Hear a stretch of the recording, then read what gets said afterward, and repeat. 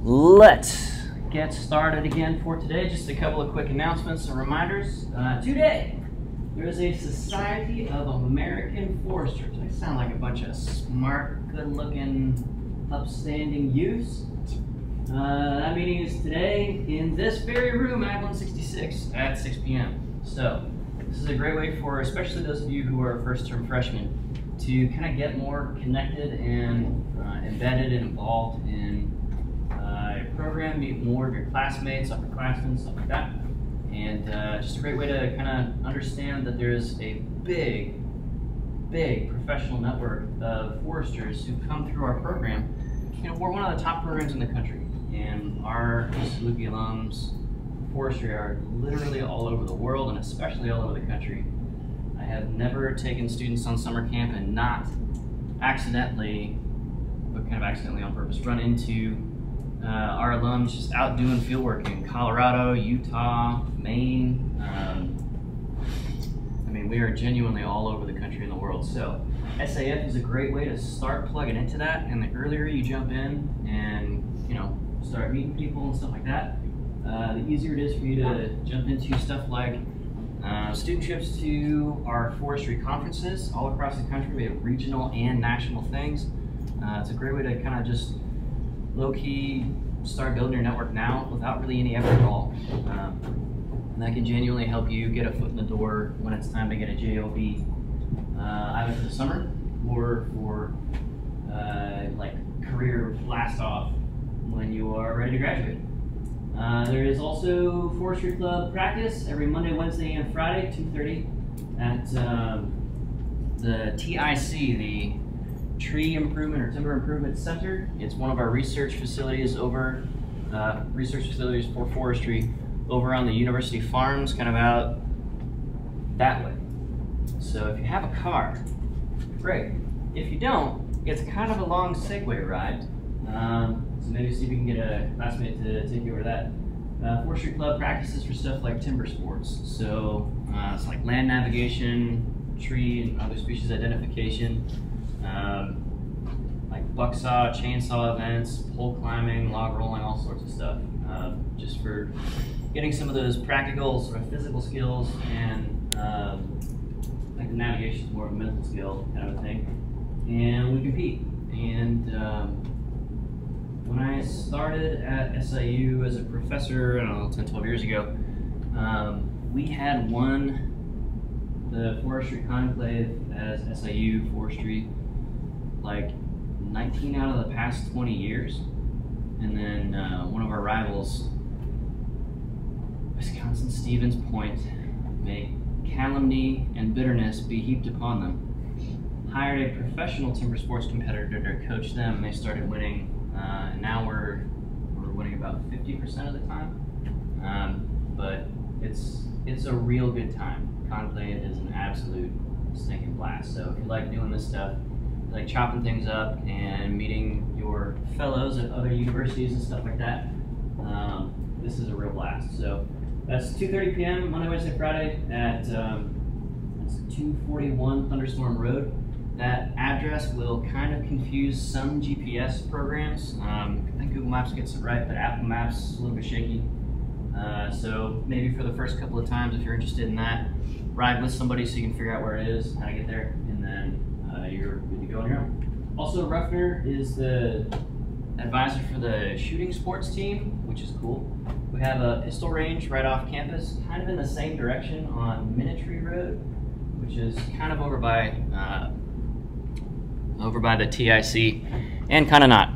Um, so yeah, check those out. Any other announcements for the good of the cause?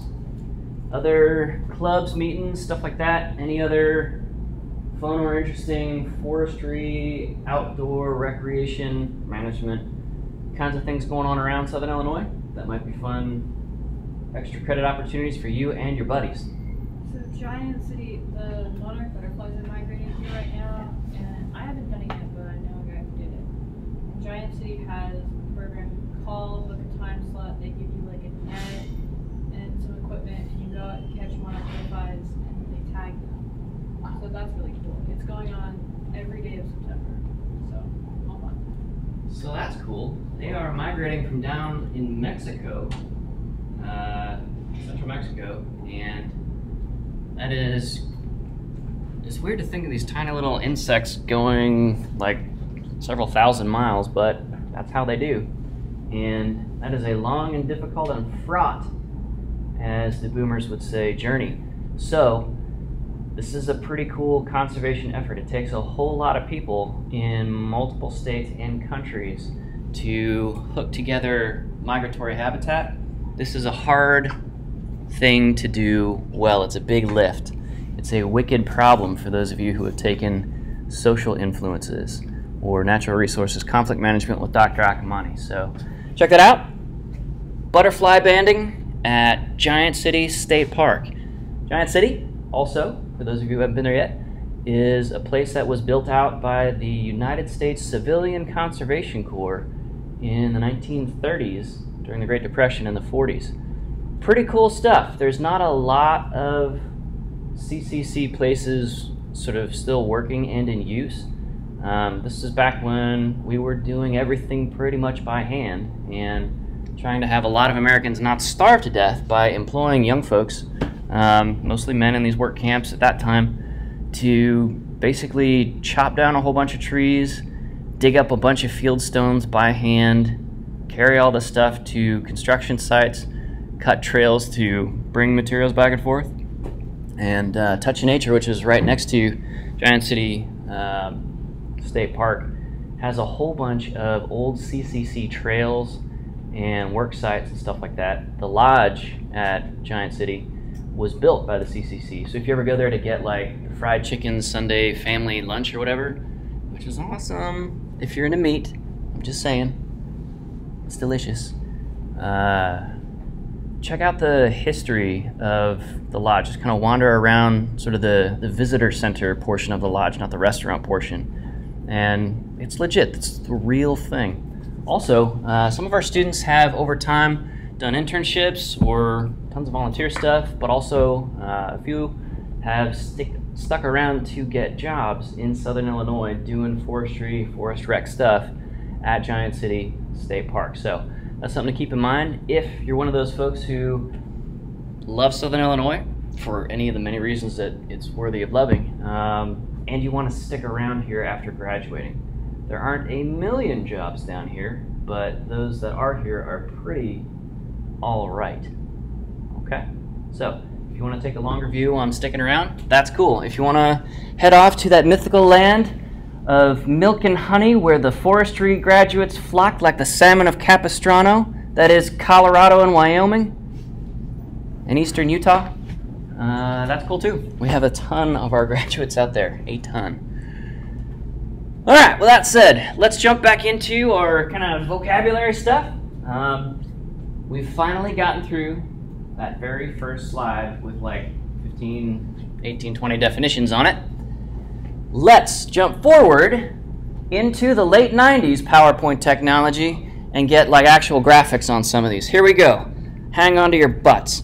So, we've been talking about how in some of our earlier class sessions, forest and outdoor recreation is pretty tied to your discretion. Remember we did that simple class exercise on if you had discretion over your time and just kind of a whole bunch of money to obviate or remove the need for paying for a trip, what would you do over a long, like Labor Day weekend kind of a thing? So, that is a particularly modern and particularly American sense of what leisure as a broader thing, sort of encompassing forest and outdoor recreation and other stuff like sports these days, and hobbies, and stuff like, believe it or not, endlessly scrolling your social media feed mindlessly and sending people Snapchats and stuff like that. There's a lot more going on than just forest and outdoor recreation. So let's jump back in time a little bit to the Romans and take a look at this concept of leisure and what it meant to them, which is not the same as what it meant to us. So this is kind of a quick introduction to our later on history of forest and outdoor recreation and its development into the modern concept of it.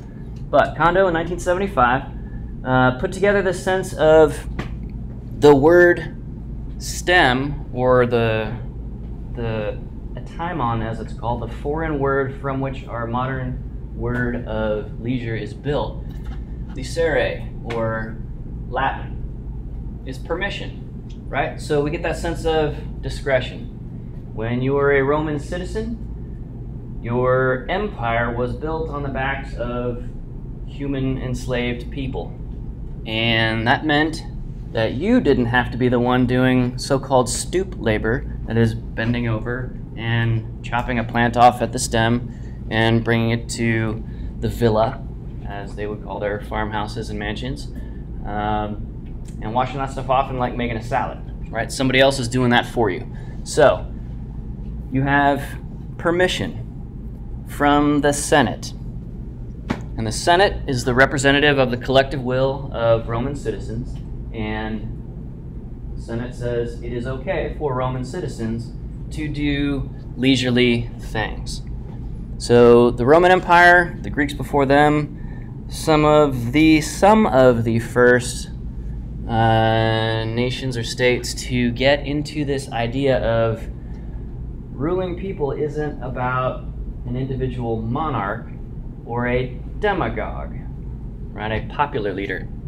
It is more about the collective will of the people, and the people, in this case, giving themselves permission to have some fun and do anything more than work and march around and kill people. All right. Way, way, way, way, way forward in time from there, like 1700 years later, 15 to 1700 years later, we have the French concept, which is evolving from a kind of tacit or formal legal permission to do leisurely things to kind of more of a free time sense of things. Okay? In this French distillation of the term, so like 15, 16, 17, 1800s kind of a thing, the vast majority of people still living agrarian or farm based lives. Industrial cities, not a thing yet. But for the relatively few, the landed elites that have free time because everybody else is busy growing and butchering stuff for them, like all of the serfs, we would call them in English, um, people tied to the property to produce uh, foodstuffs and material goods. The landed elites have some free time and they already have that permission kind of built in. Right? That's what it meant to be nobility at that time. To be educated, one of the relatively very few who could read, for example. Okay? And from these ideas and their sort of forward evolution, we get the modern concept of leisure. We have the permission built in. You don't have to get my approval to low key be scrolling Snapchat in class. You just pull out your phone and kind of ignore me for a minute and do it. Okay? And you have sort of the free time. These days, we're paying a whole lot of attention in leisure studies to things like where's your attention going? Because you have a permission, you have free time, but you have a limited and single threaded supply of attention. And you and I and everybody else in the United States, pretty much, sees on average, on average, up to a couple of thousand advertisements per day. Each one of those is a bid by a company for your attention. If they can get your attention, then they can get a sense of, or implant in you, try to incept in you a sense of you have a need and their product or service satisfies that need. Whether or not that need is real or perceived doesn't really matter. If you think you have that need, then effectively or practically speaking, you have that need.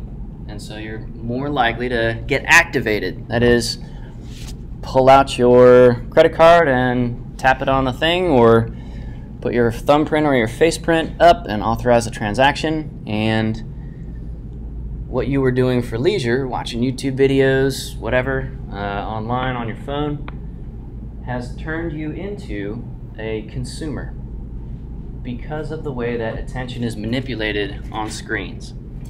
So, these days, leisure is a bit of a battlefield.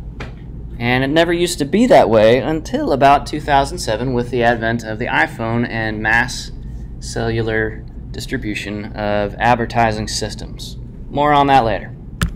So,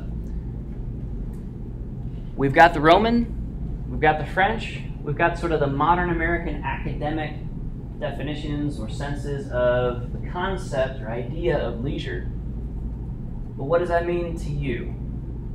You don't necessarily have to agree with or buy, so to speak, no pun intended, any of those three senses of leisure. So, in a sentence or two, what does leisure mean to you as an idea or a concept? What do you think of? What do you imagine when you're thinking of leisure? For me, as you're getting your thoughts together, it is one of kind of two things. Doing something very active like hiking the Appalachian Trail after college. Uh, or upon retirement is another common way for time for people to do that. And on the other end, leisure for me is also sitting at home on the weekend, hunched over a computer, designing a trading card game and prototyping it with my wife. Like, my wife is the coolest freaking human being on the planet to me. And hiking Appalachian Trail is pretty fantastic, but you know what is also fantastic? Seeing my wife smile playing a game that I'm designing. That feels really good to me. That sounds like a pretty high quality Sunday afternoon. Also, as a non academic side note, my wife also asked me to bring you guys donuts. So, we can all benefit from the amazing person that she is. If you guys, gals, everybody who likes donuts, we'll just send those around. We've got about two dozen. Alright? So, these donuts have nothing to do with anything. They were just spared our church for a weekend, but uh, yeah. I hate to see food go to waste, you know? Alright. Around. Whoever wants some. There you go. Have at it.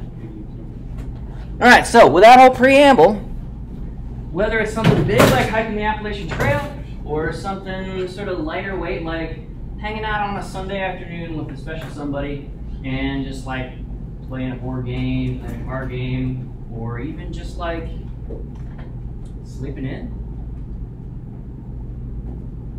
What do you think of as leisure for you?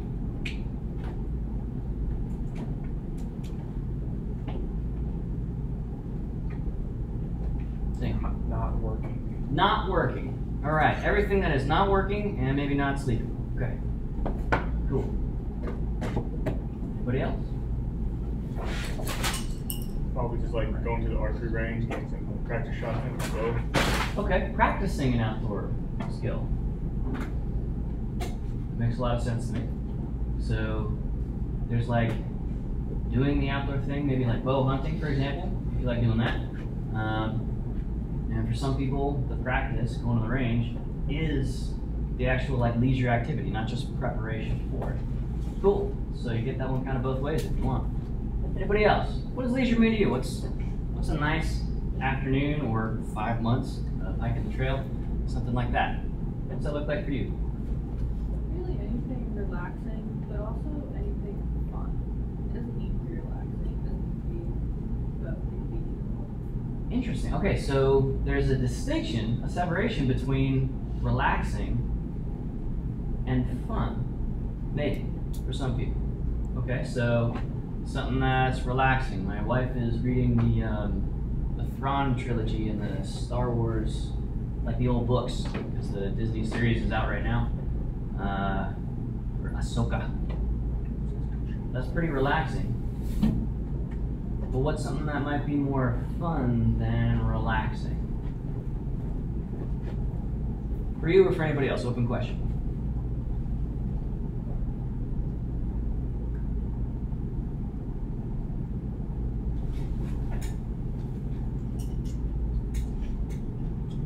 Probably playing like the old school like Xbox 360 uh, Star Wars Battlefront, or can't remember what it's called. Battlefront 2, a classic. Often imitated, never duplicated. So, we're going to come back to this idea of we tend to kind of subdivide leisure in our own heads and in our behaviors, our expressed behaviors, of we've got kind of the relaxing side of things. We might call that passive. Now, passive has some negative connotations and stuff like that, but for us, it just means not like actively like leaning forward doing something like playing a video game or actively heading to an archery range and letting fly some arrows and stuff like that. Okay, so we'll come back to that. We'll see a little bit more of that. So, back in the 1700s, kind of when, we'll say, the uh, essentially the French and English and Spanish empires were the global superpowers of that time, projecting force and uh, property extraction and wealth extraction uh, through the use of their navies and stuff like that, right? So in the early 1700s, the British Navy is uh, extracting a lot of coastal American timber from places like Georgia with its huge live oak trees, building out an extremely powerful navy and stuff like that. And then in the late 1700s, the French Navy blockades some British ports for the American Revolution as a little bit of an FU to the Brits across the English Channel. And a whole new nation gets spun out from that, the United States. Back in the year 1700, with that as context, we have kind of this pretty sort of grim or depressing sense of how people spent their time and how much of that time and effort and energy, calories if you want to think of it that way, how much of that could be leisure. So, you get to spend 12 hours a day on subsistence. So that's like, on average, about eight hours a day of sleeping, an hour a day of like cleaning yourself, cleaning your immediate space so you're not living in filth directly. Not really taking a shower every day, cleaning your body every day, but just like basic home maintenance kind of stuff, sweeping the stoop, um, emptying the chamber pot since we didn't have flush toilets back then, out the window onto the sidewalk and then a couple hours a day every day, like cooking and preparing to work and stuff like that. We call that subsistence time. Things you got to do to keep your body alive. And then existence time is about 11 hours a day for people working the fields, for people working in a blacksmith's shop or a cobbler, a shoemaker's shop, or a cooper's shop, person who makes barrels for storing liquids. That's about 11 hours a day. So the life at that time didn't really typically, on average, leave a whole lot of time and energy for leisure, that sense of free time. Okay? Because we don't have modern conveniences like microwaves, we don't have common to us uh, things like food preservation technologies. We got to prepare everything fresh or let it ferment typically for a period of at least a couple of months, like sauerkraut. Over in the Germanic language family, European countries at that time. And that takes a lot of work. It takes a lot of time and takes a lot of effort to do everything manually yourself. We have a little bit of division of labor with things like blacksmiths and leather workers and tailors and seamstresses, and stuff like that. But for the most part, you're doing most of what you need to do to survive yourself. Fast forward to 1950, after the American and Western European industrial revolutions, we have a pretty big jump or shift in leisure and free time. Now, with things like water heaters and flush toilets and showers, we're carving a decent amount of time, a couple hours, off of subsistence. Again, those activities you need to do to keep your body alive. Okay? And with the advent of the Eisenhower interstate system, which was uh, starting to go into place, uh, we get highways, a lot more rural roads paved following the Great Depression and the Civilian Conservation Corps, the Works Progress Administration um, uh, the Federal Highway Administration, stuff like that, big government projects to do things like pave muddy dirt roads so that you can go a lot farther, a lot faster. A lot of this was subsidized by American auto industry companies based out of Detroit for the most part, so that we had roads to drive all these expensive cars on and literally drive the American economy forward by repurposing World War II factory capacity towards consumer goods. The net effect of this is a quadrupling,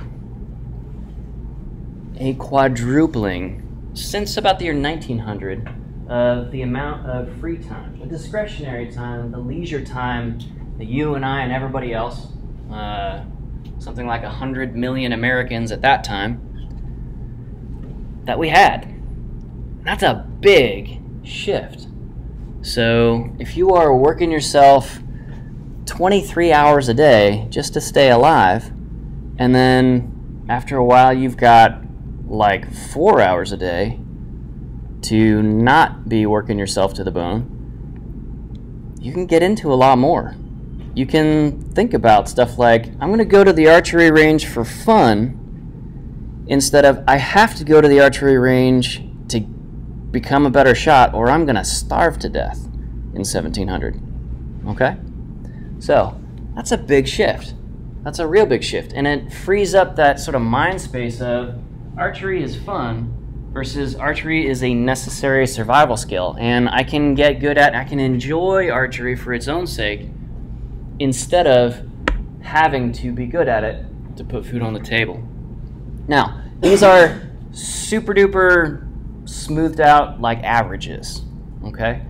To this day, we have people who are subsistence hunting in southern Illinois.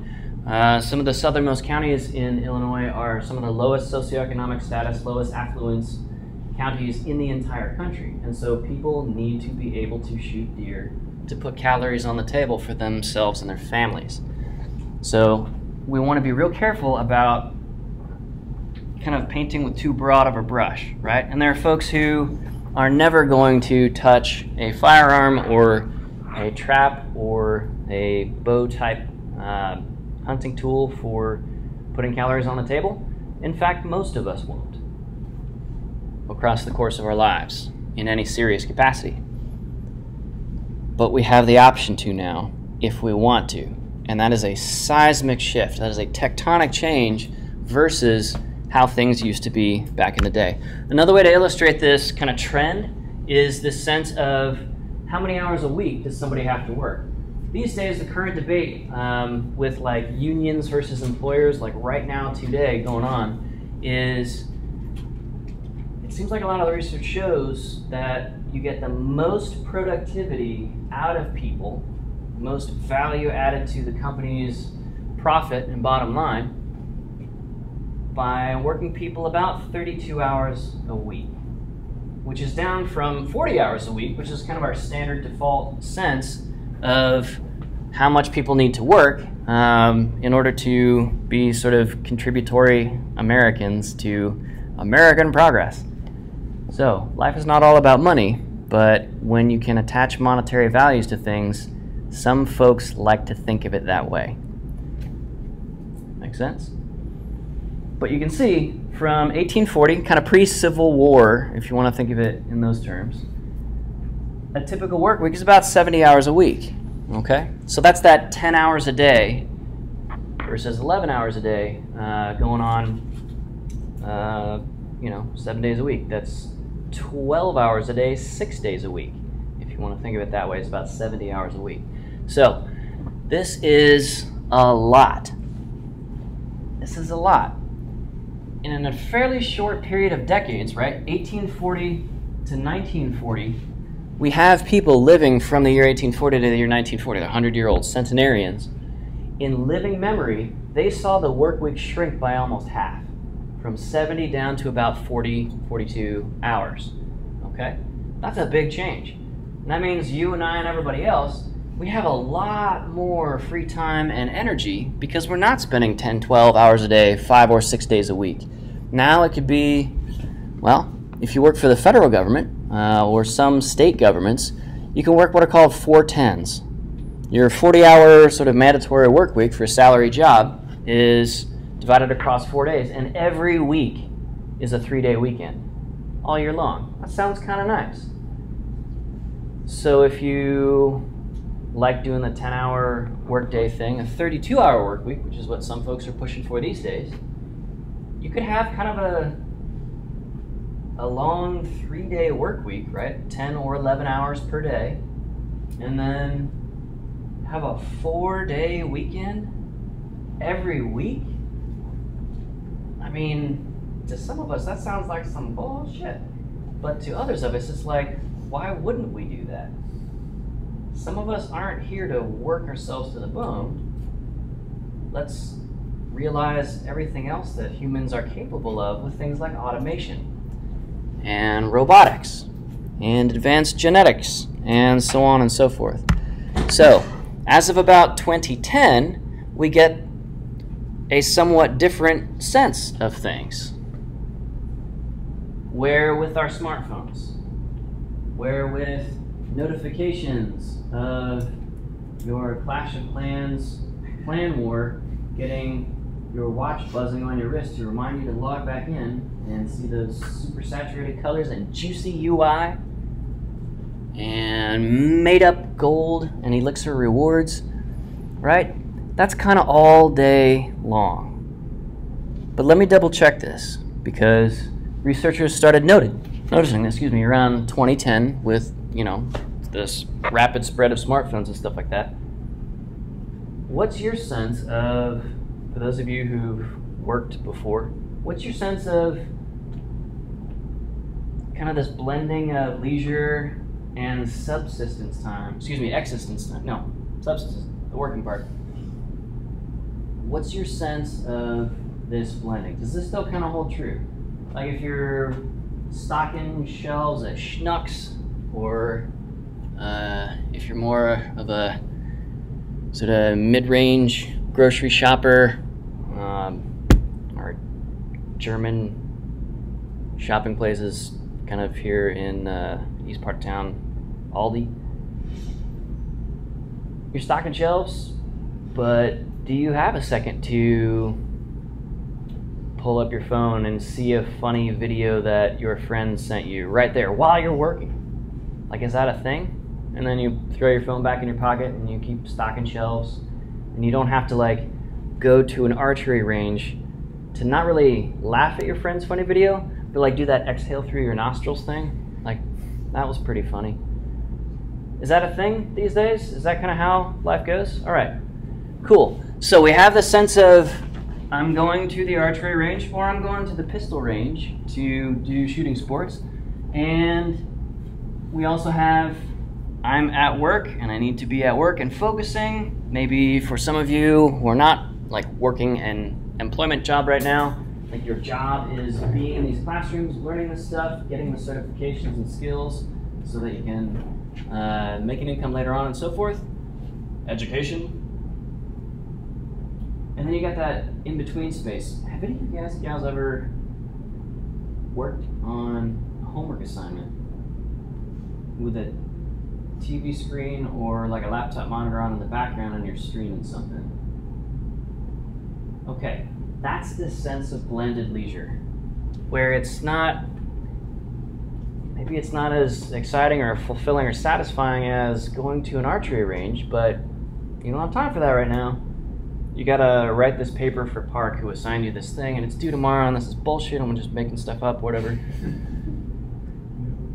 But i don't have to suffer through that. At least i can listen to a podcast while i'm doing this and kind of split my attention or ease the sting of having to study for a big watersheds exam coming up with Williard's class uh, or Schoonover, and like I'll just hang out and study for it, but also be just texting with friends at the same time. That makes sense? This is different than how things used to be. Like, this is wildly different than how things used to be because all of those notifications, all those those tempting distractions in a negative sense, or nice bits of break or rest or defocus from what you're trying to concentrate on, like those things don't know about your needs or your schedule. They're just coming in constantly, right? It's like that friend who wants to go out to um, tracks or traz or whatever the hangar and you're like, no, I gotta study. But they're like, come on, you can study at the bar. And you're like, no, I can't. They're like, yes, you can. Uh, right? There's this this sense or this sort of behavior cycle of blending that is a new thing in human existence. Think about that for a sec. You are the first generation in all of humanity to go through college the way that you are, to work the way that you do now and that you will in the future. You are the first. We are running this massive experiment on what is good, worthwhile, healthy, sustainable, neurodevelopmentally not harmful. Did you know your brain is growing in a different structure fundamentally than people who grew up without computers? That's a thing. Yep. Yeah, that is a real thing. And it's a grand experiment. We don't know what's going to happen. It's all very exciting. I hope it turns out well. I'm sure it's going to turn out fine. We're all going to die, actually.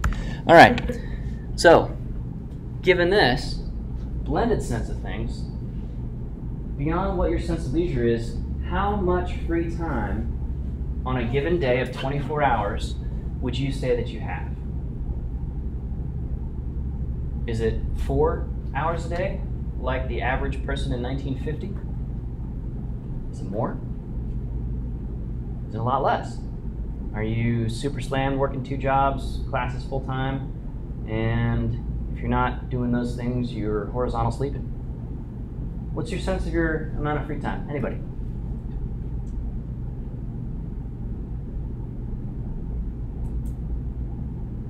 Probably about six hours. Six hours a day? Okay. Anybody else?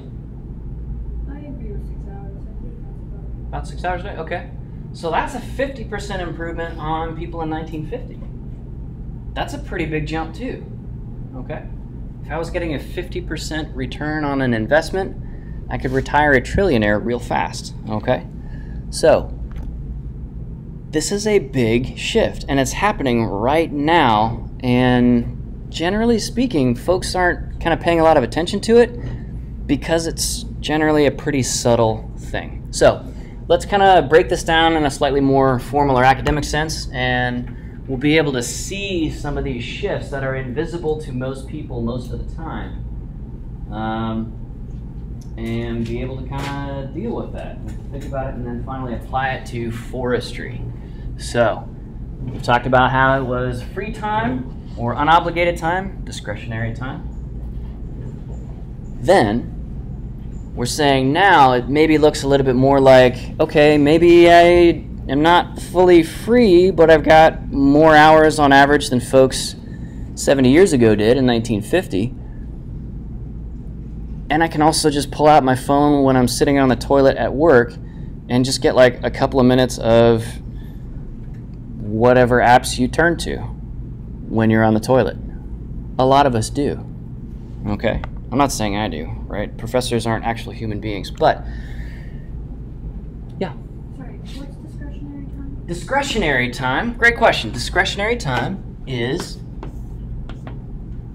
discretion is any resource that you have control over your choices for. So something is at your discretion when you call the shots about that thing. Okay?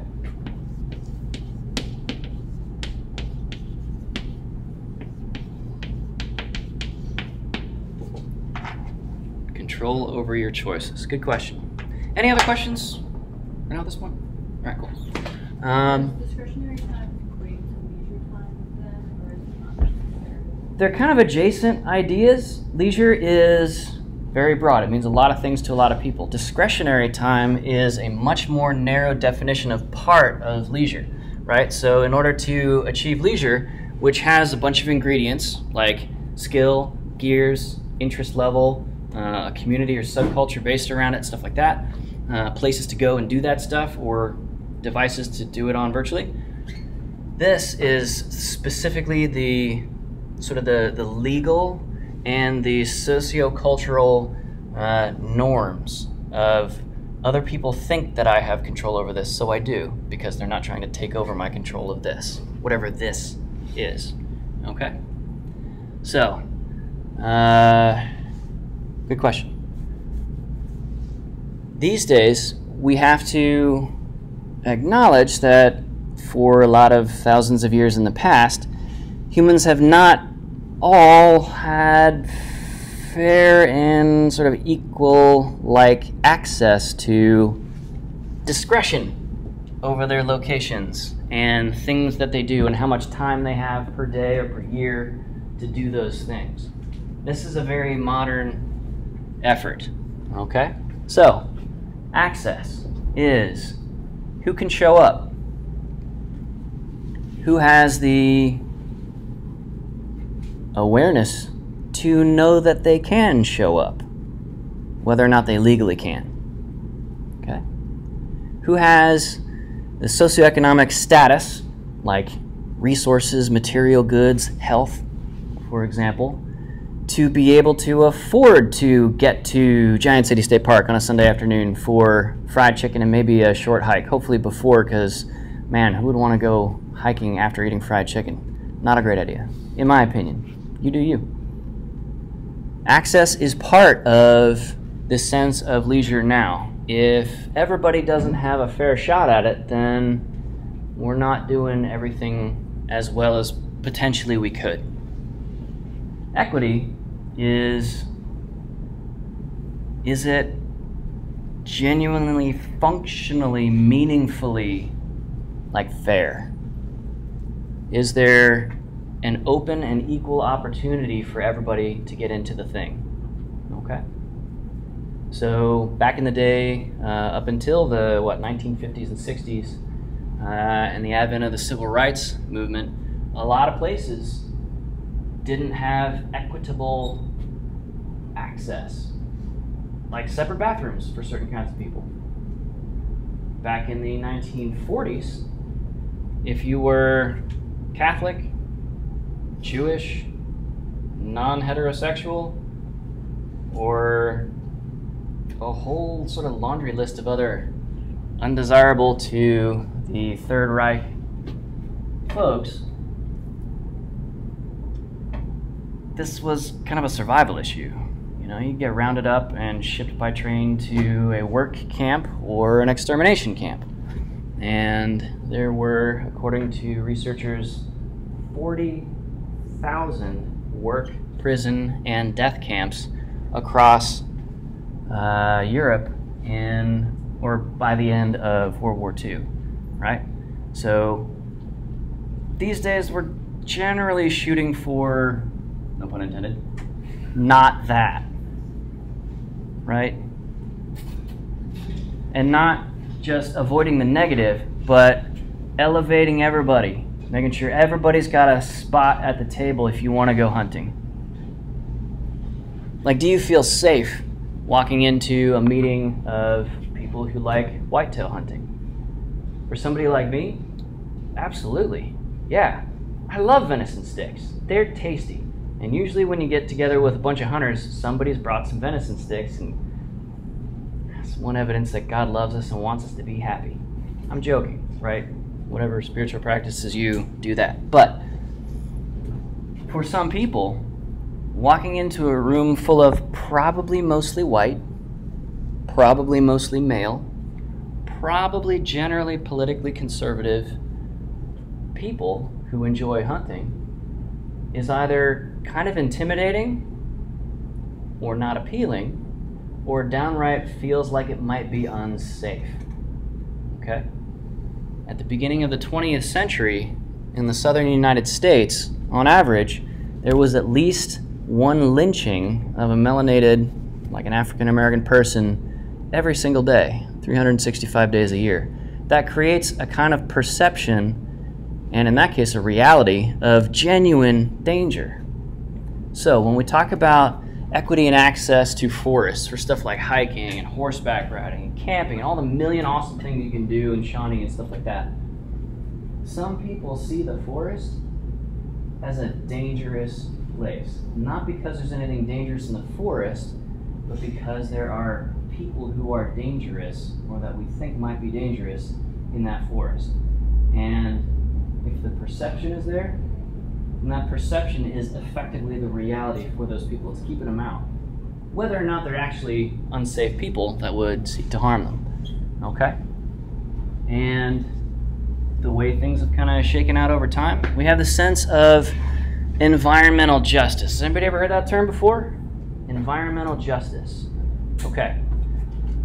The basic kind of thumbnail or postage stamp size definition of environmental justice is the sense of the winners have clean, nearby, high quality environments to access, enjoy, to get clean drinking water from, to breathe clean air from, and stuff like that. And folks who have lost historically some access and equity battles through being enslaved or discriminated against or what have you, they tend to be relegated to have to live in places that are a little bit or a lot less clean, less safe drinking water, less safely breathable air. So um, there was the, uh, was it a coal processing yard uh, somewhere on the outskirts of the Chicagoland area? And downwind from that was um, a community like overwhelmingly of color. And so when like it was windy and stuff like this, like coal dust is blowing onto this neighborhood full of houses and schools and stuff like that. And lots of people getting kind of real sick over time from that. People started noticing, wow, it tends to be a certain kind of person that's getting kind of getting screwed by having to breathe that kind of air. So what do we do about that? Is that fair to them? Does that demonstrate they have less kind of fair access, less meaningful equity in just being able to breathe without you know, like breathing in cobalt and heavy metal dust uh, that tends to come along with coal, black lung disease for coal miners and stuff like that back in the day. Here's a visual example of it. So the caption at the top reads, I'm still not sure what they expected us to do outside. There's a speech bubble and this sort of detailed map of kind of a quasi-urban, kind of suburban environment with lots of limited access highways, so high-speed vehicle travel, not a lot of sidewalks. We've got a Walmart with no loitering. We've got streets labeled stranger danger. We've got a pond in a golf course, which is a leisure thing, right? Close to a whole bunch of much larger houses. You see how those buildings are much larger around the golf course? That's a thing. Okay? And the pond itself is labeled useless decorative pond. You can't go swimming in a golf course's pond. They get so mad at you when you do that. We all saw Happy Gilmore, right? All right? And then we've got a second pond that says even more useless pond. It's a drainage or a water catchment area because this whole space basically is paved. It's all a runoff and it's going to collect in a spot like that and be kind of dangerous and gross. Right? There's a mall, no loitering. There's a dead big box store. There's a dying store. So we've got a park. But if you're a kid being told to play outside, you got to cross from like the neighborhood where the rest of us live you got to get across all of this on your bicycle or on foot to the park, which is served primarily by cars, safely served by cars. Okay? So, this is kind of a low key illustration of the sense of access, equity, environmental justice. The people who have their backyard opens up onto a golf course. That's a pretty nice spot for a kid to grow up, right? Just go run around right out your back door. For everybody else, maybe not. And because our situation is pretty different in terms of population distribution these days, we have a large majority of people in the United States now living more in a setting like this than we do back in the 1700s at the beginning of class, where almost everybody, 95% plus, are living on and around farm complexes and you've got the woodlot and the streams and like you go out your back door and there's some wild space within sort of quick walk or jog distance for a huge majority of the population. So, in some ways, things have gotten a whole lot better. And in some ways, we made a whole lot worse our access and equity and opportunity. All right, so let's end it right there. We'll end about 30 seconds early today. I'm around for questions if you have them. Grab another donut on your way out if you would like. And I'll see you on Thursday. No reading assignment for tonight.